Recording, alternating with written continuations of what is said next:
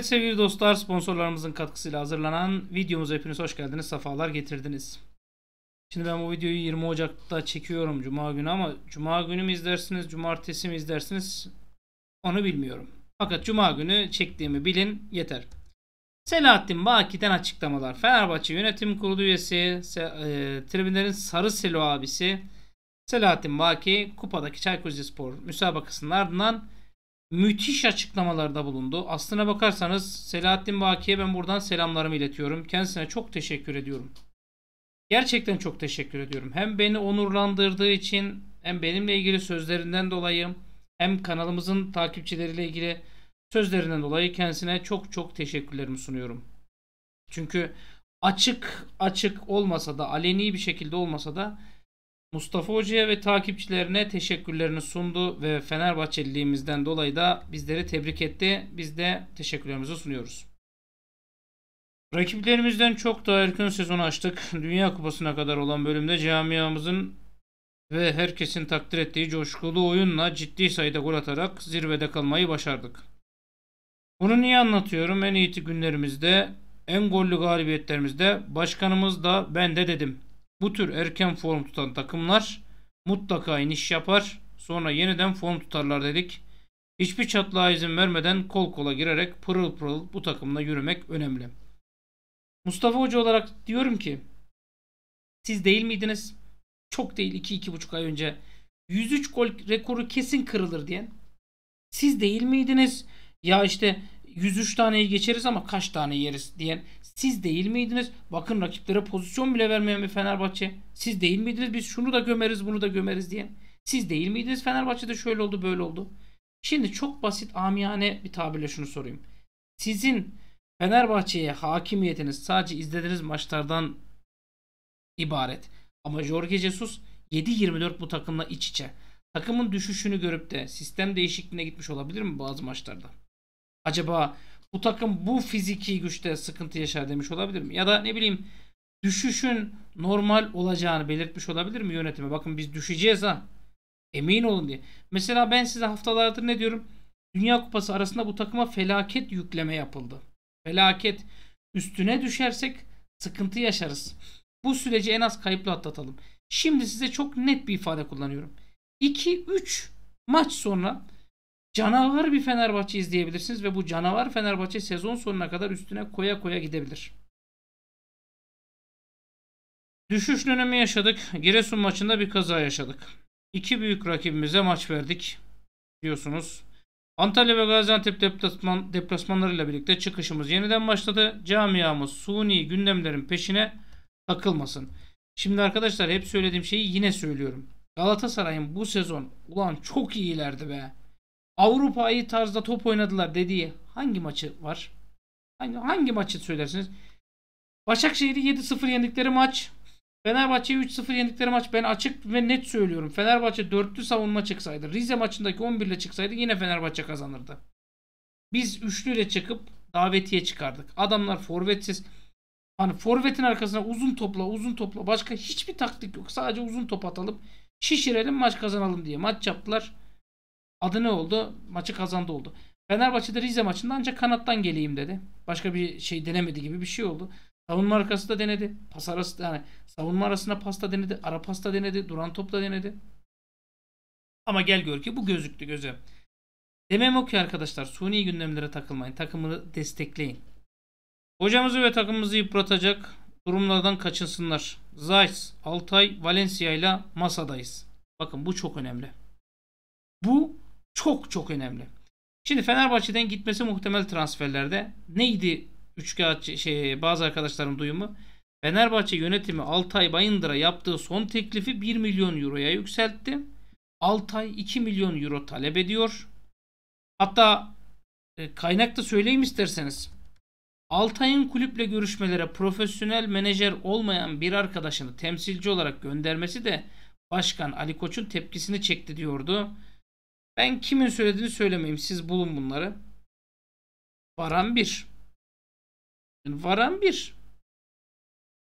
İkincisi Miha Zayt konusu. Bakın Miha Zayt için herkes gitti, kaldı, gidiyor, geliyor falan filan. Ben ne dedim size?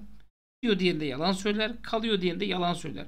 Evet görüşme var. Eşi gitmek istiyor. Zayt'sın kendi kalmak istiyor. Enteresan bir durumdayız diye. Doğru mu? Enner Valencia için hepiniz ne dediniz? Sözleşme uzatmayacak, gitti, gelmeyecek falan filan. Yani takımda kalması için her türlü görüşme yapılıyor. Ve bir artı bir anlaşma hemen hemen tamamlandı gibi. Yani hemen hemen tamamlandı gibi. Hocam hemen hemen ne demek ya? Yani tamamlandı mı tamamlandı mı? Hemen hemen tamamlandı gibi. E E arkadaşlar. Sonuç Sonuç bu arkadaşlar. Diyor ki üçüyle de masadayız. Bir sorunumuz yok. Gayet olumlu gidiyor işler. İddia edilen bu senaryoları okudum. Bir tane oyuncumuz kendisi gelmemiş. Menajerini yollamış. Avrupa'ya giderim falan demiş. Hiç böyle bir şey yaşanmadı.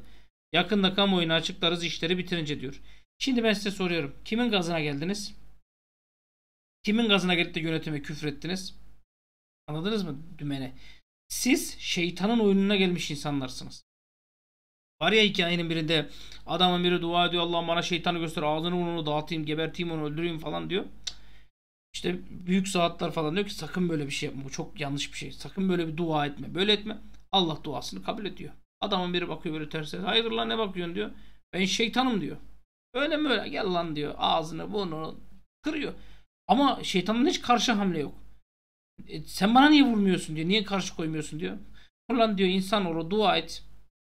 Senin falanca sene ömrün var. İşte atıyorum 80 yıllık ömrün var. Daha 60 sene 70 sene şey 50 senen daha var. Sen dua et bu kadar ömrüm var. Eğer bu kadar ömrüm olmasa seni gebertirdim diyor. Adam tabi başına gidiyor bu kadar ömrü kaldı. Gerçekten mi? Vay arkadaş. Falan şeytan da biliyorsun çok profesyonel yalan söyler. Ki e, günümüz insanlarından birçoğundan şey yap yani birçok insanda bu vasıflar var gibi. Eminim sizler de birçok kişiyi tanıyorsunuzdur kendi hayatınızda. Öyle mi öyle ulan diyor neyse hadi şeytan acıdım seni bırakayım diyor. Adam şeytanı bırakıyor diyor ulan 50-60 senem var. Ben 2-3 sene 5-10 sene Comolokka yaşarım. Iptıs ıptıs yaparım. 300-500'den yaşarım. Sonra tövbedir, namazdır, abdesttir falan. Yiyor, içiyor, sefahete düşüyor, günahlar, şunlar bunlar. Adamın biri ters ters bakıyor bir içtiği mekanda. Hayırdır lan ne bakıyorsun diyor. Canımı mı alacaksın diyor. Evet diyor. Ben canını almaya geldim. Sen kimsin ki diyor. Ben Azrail'im diyor. Manyağa bak lan diyor. Azrail oğlum zamanını mı şaşırdın? Benim daha şu kadar sene ömrüm var diyor. Tabi Azrail diyor ki öyle mi? Kim söyledi? Ş şeytan diyecek. Tabi böyle kalıyor. Size de aynısını söylüyorum. Zayt'sın yani Altay'ın menajerini gönderdi, göndermediğini işte komisyoncu gönderdiğini kim söyledi? Kim söyledi Fenerbahçe'de sıkıntı olduğunu? Yine dönelim Selahattin Baki'ye. Bazı rakip yöneticiler var. Uzun süredir ortada görünmüyorlar. Kendilerini ilgilendirmeyen maçlarda bile anti Fenerbahçelilik ruhları ortaya çıkıyor. Ve demeç veriyorlar. Değil mi? ben de bununla ilgili çok alay ettim. Bazen kendi kendime diyorum ki acaba Selahattin Baki ben miyim? Gaziantep maçının uzatma dakikalarla ilgili bir demeç verdi kendisi. Bu eleştirisi 5 saniye sonra çürüdü. Uzatma dakikalarının da yarısı oynanmadı diyor. Ne yarısı? 10 dakika uzatma verildi. Yüzde onda hani yüzde onu oynanmadı. Türk futbolunda offside'ımsı diye bir skandal çıktı. Onda bile ağzını açmadılar. Uzatma dakikalarla ilgili konuşuyorlar. Kendi camiaların haklarını savunsunlar diyor. Hocamız sadece bir sol bek şey sol bek ve bir stoper istedi. Ancak yabancı sınırı var. U21 limitine uygun birini bulursak değerlendireceğiz. Bizler buraya kendi PR'ımız için gelmedik. Fenerbahçe'ye hizmet için geldik. Konuştuğumuz futbolcular var. İsimlerini saklı tutarız. Olursa olur. Şimdi hemen dönelim şeye. Fenerbahçe Inter'le Handanovic'le sözleşme imzalayacaktı. Yalan mıymış yani? Abi iyi de bunu sadece Mustafa Hoca yalan demişti. Geri kalan arkadaşlar Handanovic'i yazmıştı. Neydi bir tane kaleci vardı Paris Saint Germain'den 38 yaşında 36 yaşında ama öyleydi. Ama siz demiştiniz böyle diye. Öyle olmuyor muydu? İlginç. E peki ee, şey ee, şey Ca Pedro o da gitmeyecek mi? Demek ki gitmeyecek. Bu arada Ca Pedro gitmeyeceğine göre hani forvet gelmeyeceğine göre demek ki Ca Pedro da gitmeyecek. Ama şey bir tane duyumcu bir abi vardı komisyon e, şey Duyumcu abi para kimseden para almadan haber yapıyordu. Yani para alarak haber yapmıyordu. Para almadan haber yapıyordu. O nasıl olacak? İlginç. Yine devam edelim. Bu arada olursa olur diyor. Görüştüğümüz futbolcular var. İlgilendiğimiz isimlerini saklı tutuyoruz. Olursa olur diyor. Gelelim Abu Bakar'a. Bir şey söyleyeceğim. Beni sevin sevmeyin önemli değil. Ama Fenerbahçeliliğimden zerre şüphe etmeyin. Eğer benim Fenerbahçeliliğimden zerre şüpheniz varsa siz Fenerbahçeli değilsiniz. Çok açık ve net söylüyorum. Ben ayda 4000 lira Feneryum'dan ürün alan bir adamım. Bilginiz olsun. 4000 lira ürün alan bir adamım. Elimden geldiğince insanlara yardımcı olmaya çalışan bir adamım. Fenerbahçe menfaatleri gereği dakikalarımı saatlerimi burada harcayan bir adamım. Benim hakkımda kötü konuşmayın ya. Gerçekten bak kötü niyete de sahip olmayın. Gelelim Abu Bakar'a. En mühim kısım burası bence. Gerçekten en mühim kısım burası. Niye biliyor musunuz? Bak şimdi Abu Bakar'la ilgili ne diyor dikkat. Abu Bakar konusu gerçekten olacak iş değil. Ne bir kere konuştuk. Ne nabız yokladık. Ne menajerini aradık. Ne yazılı ne bir WhatsApp mesajı. Hele ki Suudi Arabistan'dan birine talip olursak orada bizim e, işimizi gören adamlar da çok direkt alırız diyor. Oradaki kontaklarımızı biliyorsunuz. Anaokulu değil burası diyor. Rakibimiz incinmesin falan filan. Dikkat edeceğimiz olay şu olabilir. Hani rakip sonuna gelir. Biz de deriz ki yani centilmenlik olsun kontak kurmayız. Yani bunlar suni gündem. Başkanımızı ve yönetimimizi aciz göstermek isteyen bir güruh var.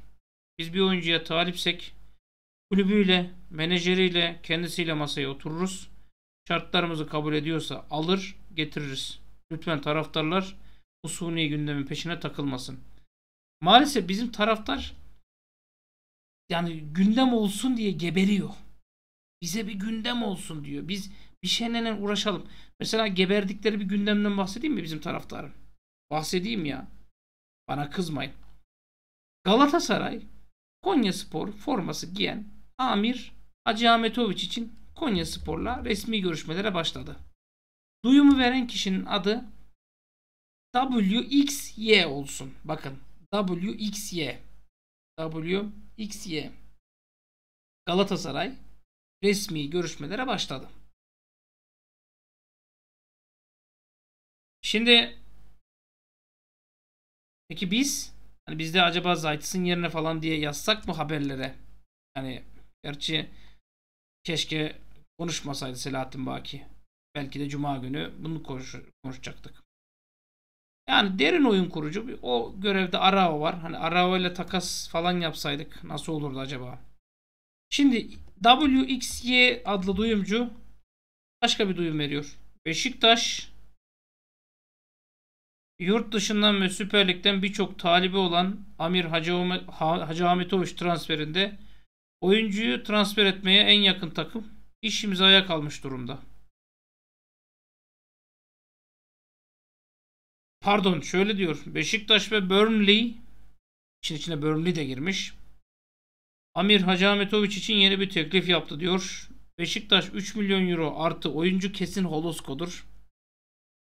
Burnley ise 4 milyon euro artı bonus teklifinde bulunmuş. Bu duyumcu arkadaşımız Abu Bakar'ı Fenerbahçe'ye getiren arkadaş. Ortada Abu Bakar'ın ağası yokken. Ama Fenerbahçe taraftarına sorsan hocam o çok güvenilir ya. Sizden sonra onu takip ediyorum hocam. Çok güvenilir. Hiç yalan söylemiyor. Vallahi mı? Gerçekten mi? Hocam çok sami şey o ya hiç yalan söylemez o. Hiç. Gerçekten mi? İlginç. Yine devam edeyim arkadaşlar. Asıl bomba kısım bence burası. Antalya Spor cephesi Hacı Wright için açıklama mı yapmış? Bizim forvet ihtiyacımız yok. Kadro ortada. 5 tane forvetimiz var. Ha, şimdi burada devreye gireceksiniz. Burada diyeceksiniz ki Mustafa hocam sen de Hacı Wright videosu çektin. Evet. Kapak fotoğrafına Hacı Wright'ı koydun. Evet. İçeriğinde ne dedim peki? Ne dedim içeriğine? Hatırlat hocam bizim öyle kafamız çok çalışmıyor. Estağfurullah. İçeriğinde şunu söyledim. Vurma. Demos. Samatta'dır. Ne bileyim hani Gustavo Henrique'dir. Biz bu arkadaşlardan kurtulmak istiyoruz. Başkanlar arasında bir konuşma var. Hani başkan arasında bir muhabbet var. Ee, kendi aralarında konuştukları bir şey. Asla resmi teklifimiz yok. Ee, biz hani Hacı Rahit alsak ne versek olur dedik. Onlar da çeşitli şeyler söyledi. Peki ben size üyelere verdiğim duyumu okusam olur mu? Bence olur. Ee, üyelere de o kadar çok duyum veriyorum ki maşallah. Hacı Rahit ve Bünyamin Balcı'yı beklemeyin. En azından sezon sonuna kadar beklemeyin. Yani bu transfer döneminde olmayacaklar. Boşuna beklemeyin. Neden? Not 1, not 2, not 3 diye ben buraya yazdım ama ben bu notları okuyamam. Eğer bu notları okursam üyelere ihanet etmiş olurum. Yani 15 lira da olsa verip bu notları okuyabilirsiniz. Yani not 1 belki de şu yüzden. Not 2 belki de şu yüzden. Not 3 belki de şu yüzden diye. Yapılan yorumlardan birkaçını okuyabilirim. Hocam belliydi zaten. Ee, yani sizin de dediğiniz gibi Hacı Rahit'i ve Abu Bakar almayacağımız belliydi. Bence Bünyamin'i istiyoruz ama diyor demek ki fiyattan anlaşamadık falan filan. Hocam benim sizin duyumlardan anladığım sadece bir tane sol bek alacağız. Başka almayacağız. Zayt giderse 8 alacağız. Belki Rossi giderse kanat alacağız demiş. Ee, Hacı Rahit'la Bünyamin de gelmediğine göre demek ki o sahile de Batshuayi bir yere gitmiyor demiş. Utku selamlar olsun. Bünyamin gelse iyi olurdu ama neyse hocam ee, başka maçlarda çıplak gözle izleriz demiş. Durum bu. Peki. Peki. Hacı Rahit. Arkadaşlar mesela Perşembe günü bizim bazı abiler de paylaştılar. Hani Galatasaraylar algı yapıyor diye. Bu arada bir itirafta bulunayım mı? Aslında ben videonun birinde açıkladım bunu. Dedim ki Galatasaray Hacı Rahit'i istedi 10 milyon euro talep ettiler. Biz istesek 5'e falan bırakırlar. Ama biz çok niyetimiz yok. Hatta hatırlayın duyumcu arkadaşım biri de şey demişti 5 5.5 verirse Fenerbahçe kesin alır. Antalya Spor kurtulmak istiyor diye. Ben de demiştim ki arkadaşım biri herhalde menajerlerden para alıyor ya da kulüpler diyor ki ulan bunu iteleyek Fenerbahçe'yi de sana da bir para verelim diyor ki olmadık duyumları şey yapıyor diye. Fenerbahçe'nin Hacı ilgisi yok. Resmi teklifi yok. Yani resmi teklifi yok arkadaşlar. Sürpriz bir satış olmazsa açık ve net konuşuyorum. Bir tane sol bek alınacak, kapatılacak. Sol bek kesin alınacak. Hani kesin alınacak. İsteğim şu inşallah ilk adayımızı alırız. Yani hem para, kasada para yok hem arkadaşlar etmeyin, eylemeyin bak. Seçim geliyor bak. Seçimden sonra ne olacağı belli olmaz. Yani seçimden sonra ne olacağı belli olmaz. Bu arada Can Gebetaş da Perşembe günü sanırım Abu Bakar transferi hiç gündeme alınmadı diye bir açıklamada bulunmuş. E, onu da hatırlatayım. E, Can Gebetaş'a da buradan selamlarımız olsun. Bu arada bir reklama girme arası diye söze girmek lazım. Uzun lafın kısası. Selahattin Baki'nin duyumlarından, konuşmalarından biz ne anlamalıyız hocam? Ahlara baklara mı kaldık? Bak şimdi ben bunu açıkladıktan sonra yorumlar şu şekilde olacak. Ben biliyordum bizim yönetimin alamayacağını. Bizim yönetimin yoğurt yiyiş şekli şöyle. Bizim yönetimimizin sucuk yiyiş şekli böyle. Bizim yönetimimizin şöyle olacağı böyle. Bizim yönetimimizi ben biliyordum zaten. Ben bizim yönetimden emindim. Alamayacakları belliydi. Beceriksiz bunlar şöyle böyle. Ne kadar da meraklısınız yönetimi yerin bir tarafına sokmaya. Ne kadar meraklısınız. Yahu arkadaşlar bakın bir daha söylüyorum. Bir daha söylüyorum. Bak ben kendi evimden bahsedeyim. Allah herkese ev nasip etsin. Borcu olan kardeşlerim borcundan kurtarsın. Ben evi 305 bin liraya mal oldu ev bana. 2020 Eylül ayında kesin hesabım çıkarıldı kooperatiften aldığım için. 304 bin lira işte vestiyer ve mutfak dolabında bir 12 bin lira falan ekleme yaptık. Hadi 5 bin lira 15 bin lira olsun. 320 bin lira ev bana nasip oldu. Allah herkese versin inşallah. Borcunuz varsa da kurtarsın inşallah. Biz dedik 320 bin liraya mal oldu. Lan yıllardır ödüyoruz. Fazla şöyle böyle falan. Der. Neyse o Allah'la bizimle karşı taraf arasındaki bir mesele. Onu ahirette konuşuruz. Bugün bakın 2020 Eylül'den bahsediyorum. Ya 2021 Ocak olarak düşünün. 2021 Ocak olarak düşünün. Çünkü para belliydi. Ben 2021 Haziran'da bitirdim borcu tamamen. Çok şükür. 2021 Ocak'ta 320 bin lira ev. Bugün evi satıyorum diyelim. Kaça satarım biliyor musunuz? 1 milyon 600 bin lira. 1 milyon 600 bin lira. 2 senede. Hocam ev alacağına dolar alsaydın. Aynı para. Hocam ev alacağına araba alsaydın o paraya şimdi kaça satar? Aynı para. Harbi söylüyorum aynı paraya denk geliyor. Türkiye'de bir şeyler artarken öbür şey de artıyor. Yani altın artarken euro da artıyor. Ne bileyim o artarken ev paralar fiyatları da artıyor. Araba paralar da artıyor. Araba fiyatları da. Şimdi ben size şunu söyleyeyim. Düz mantık söylüyorum. Ferdi Kadıoğlu'nu bugün satacağınız 15 milyon euro ile yazın satacağınız 15 milyon euro aynı para değil. Bugün 15 milyon euroyu alacağınız futbolcuyla yazın alacağınız futbolcunun vermek istediğiniz para aynı para değil. Çok net söylüyorum. Ne Galatasaray, ne Beşiktaş, ne Trabzonspor, ne Fenerbahçe, ne de Türkiye'nin hiçbir takım 5 milyon euro ve üzeri para verip futbolcu alamaz. Yıllık ücretleri 3 milyon eurolar, 4 milyon euroları veremez. Ya nitekim şöyle düşünün. 4 tane takım var. Trabzonspor, Galatasaray, Beşiktaş, Fenerbahçe. Dördünden eğer hepsi transfer yapsa 3 tanesinin başkanı cezaevine girmek Hocam arkalarını kollarlar. Trabzon'un arkasını şu kolla, öbürünkini bu kolla, bununkini bu kolla. Fener'inkini kim kollayacak? Zamilatimiz yok. Fener'inkini kollayacak kimse yok. Hamleni buna göre yapmak zorundasın. Ben size bir şey söyleyeyim mi? Bak bir şey söyleyeyim mi?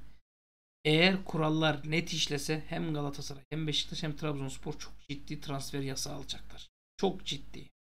Biz kurallara uyuyoruz. Kitabına uyduruyoruz.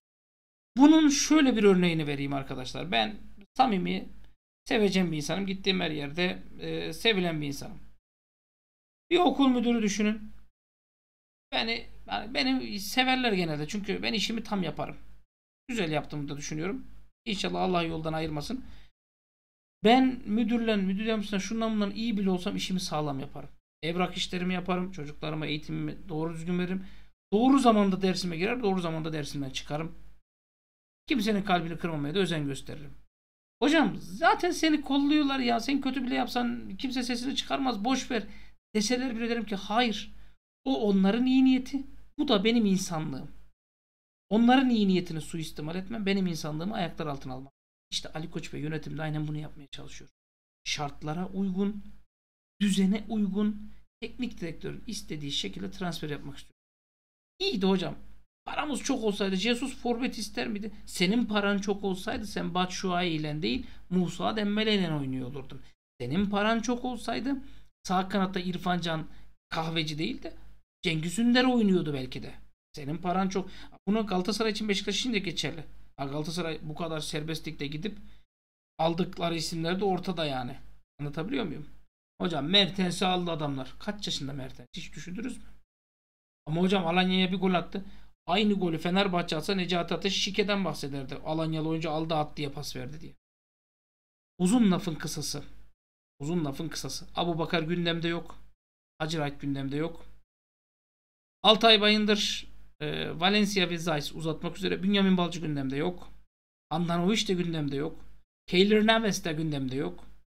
Eden Hazard da gündem yok. Eden Hazard gündemde yok demeyelim. Yani gündemde yok da şu an için satış yapılırsa mesele başka. Ama ben diyorum ki %90 ihtimalle söylüyorum. Rossi ya da herhangi bir kanat oyuncusu satılsa bile Buruma ile kapatılır o boşluk.